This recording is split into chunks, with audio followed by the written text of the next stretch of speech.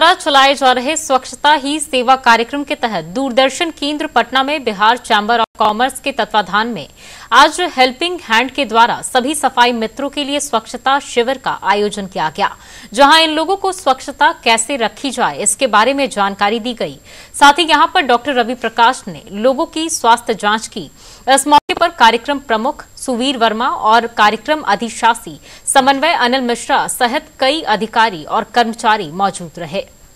जब आपका स्वास्थ्य ठीक रहे, इस और स्वास्थ्य को ठीक रखने के लिए आपका जो डेली जो आप दिनचर्या है, उसमें आप थोड़ा सा बदलाव करते हैं तो आपका स्वास्थ्य मेंटेन रहेगा।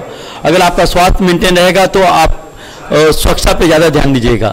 और मैं चाहता हूँ कि हेल्पिंग हैंड जो हमारा है, ये हेल्पिंग हैंड हम लोग स्वच्छता पे ज़्यादा ध्यान देते हैं और इन्वायरमेंट पे भी ज़्यादा ध्यान देते हैं। अगर अगर इन्वायरमेंट हम लोग का सही रहेगा तो हम लोग सब काम अच्छा से करेंगे।